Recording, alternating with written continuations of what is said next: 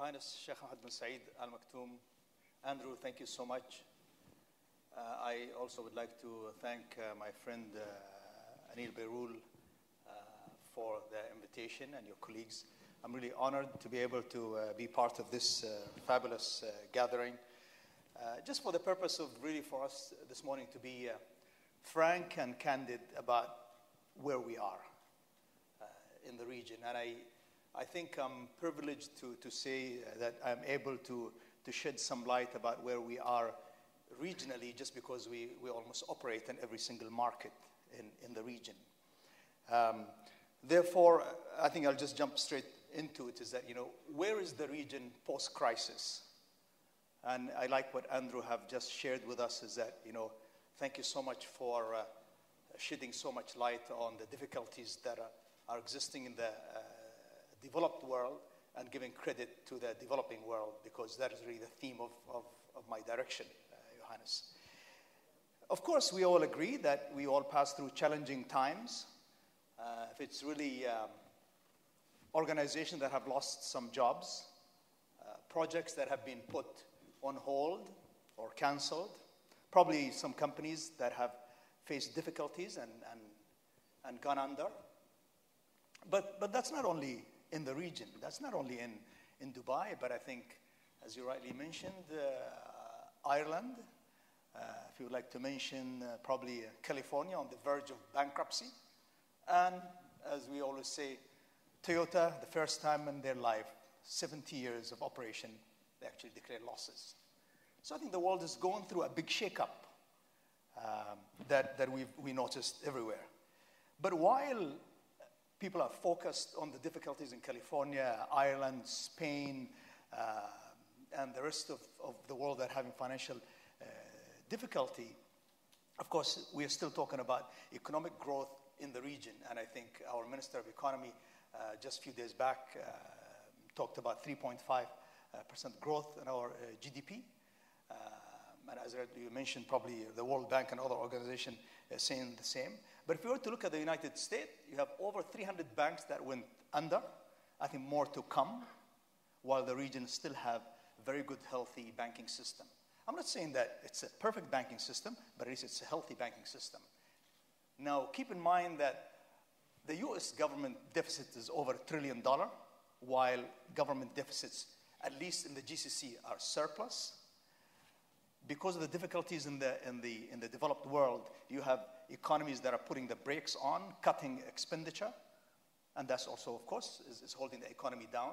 You have majority of these economies in this region where they are really accelerating expenditure into all different type of uh, projects uh, for them to help their economy move uh, forward. So we've got banking system that's healthy, we've got government budgets that are decent, we've got revenues that are, that are reasonable, but also we've got demographics in our society that helps the growth of, of, these, uh, of, of, this, of this region.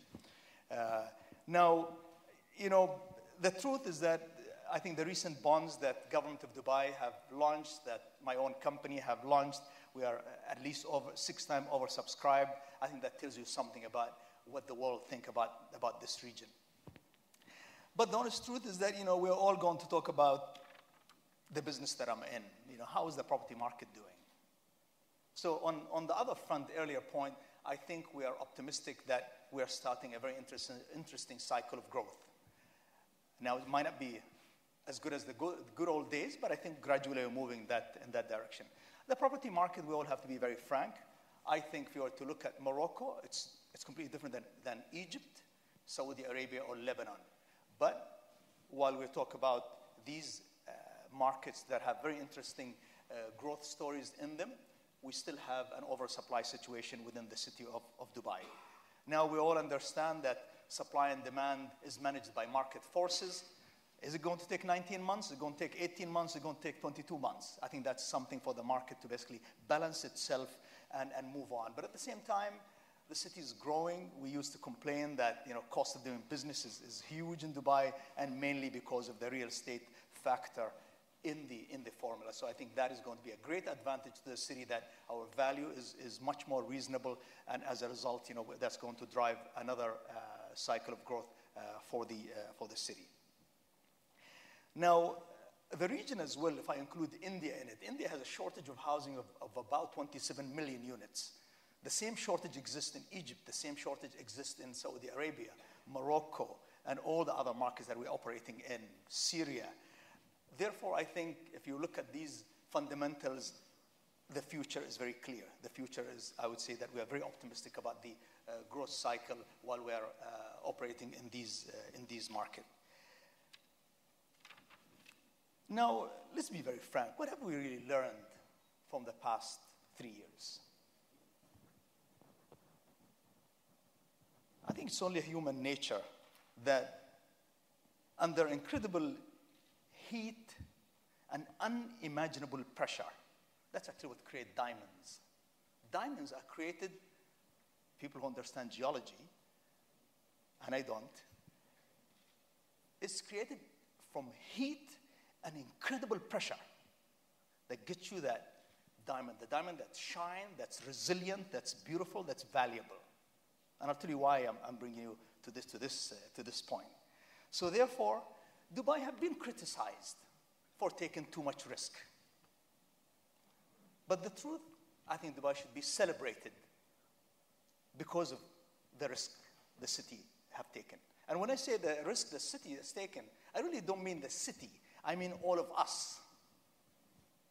People who are born here, people who came to the city, we all took risk for a very simple reason that the origin of the word risk is an Arabic word.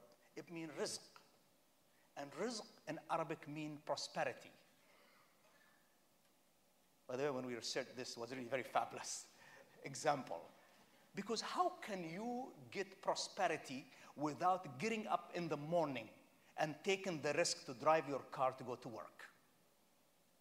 So I think the city should be celebrated for being prosperous, for being brave to move forward. And the good news all of us, including the city, will never stop taking risk because we are energetic, we want prosperity, we want success, and we will continue to take risk. But can we manage risk? Are we smart enough to learn and after we learn, we don't forget the lesson. I think we are learning the hard way. I think it will be a long time till we, till we really uh, forget the lesson, Your Highness. But that's human nature. So, therefore, I believe that this is the spirit of the leadership of the city. It's the spirit of all of us in the city that will continue to take risks, to prosper, to move forward because it's part of our DNA. We, you can't change that. That's just how we are. Now, I must say that in my own business, you know, I went through a, a harsh uh, lesson as well. I'm a public company. Uh, the discipline of, of, of, public companies have really saved our organization, to be very honest. Uh, I think we are still learning much more. I think our management style have changed. That's what I've learned is that we are hands-on, absolutely hands-on. We do not let go of, of, of where we are operating. We delegate, but at the same time, our eyes on the ball, not for one second we let go. I think that is something that maybe we used to do, but now we do much more, uh, much more often. I think efficiency is a new thing that we're, that's driving our operation. Absolute maximum efficiency, because for you to make a dollar, for you to compete, for you to take risk and be able to sustain the risk, you really have to be focused. Uh, but at the same time, uh, please remember that, um, uh, that while we're doing that, of course, you know, we need to talk about, we need to talk about you know, uh, moving forward. We need to talk about still taking risk while doing it, uh, while doing it right. I just want to share a very interesting statistic, uh, maybe after I finish my, my last point, because I thought it's, it's very interesting. Somebody, I think Andrew was talking about uh, you know, the activity in the city, so I have some numbers I will share with you. But gentlemen, my, my last point is really, my question to you is that do we, where do we go from here? So, my question to you is that if in 2006 I give you $100 billion, $100 billion, and I ask you, what will you do with it? What will you do with a $100 billion 2006? You will invest it most probably in AIG, most probably in Lehman, Bear Stearns, somebody else, you would have lost it all. Zero. Nothing left.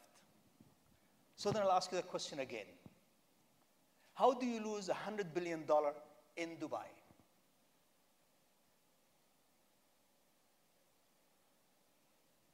I think it's very easy to answer.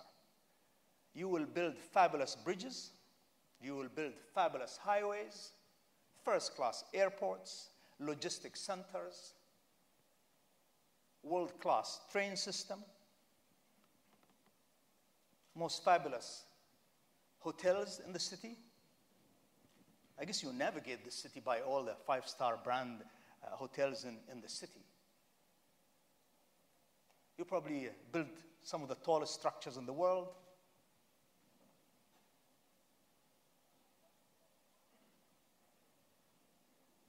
But actually, you haven't really built the structure, honestly. I think you build the future because we all understand that cities and societies are not really built in one year. They're not built for one year or 10 years. Johannes, everything is built for centuries to come. So you are putting in $100 billion in something that's fabulous for many, many, many centuries uh, to come. Therefore, I think that is the greatest investment of $100 billion. But that really takes me to, to my final, final last uh, point is that while you build these cities, you really go through good days and you go through bumpy roads. We've just gone through a very big bump. But you know what, what they call that? They call it a hell of a workout. You know, it's a hell of a workout for you really to go through that and come out resilient, strong, and able to deal with it in the future. And that really uh, reminds me of, of the fabulous book that maybe many of you have, have read uh, by Bloom called The Genius of the Beast. Maybe I, I gifted that to Sheikh Mohammed this summer, only because Blooms believe that this incredible genius, which is really all of us, and capitalism goes down, but it, but it comes back smarter, more brilliant, more resilient, more educated to be able to do bigger things and become more successful in, in the future. Therefore, gentlemen, I really believe that the beast in this city is really is all of us. Therefore, the learning of what we've gone through, the future is clear that we are moving away from what we've gone, what the world have gone through.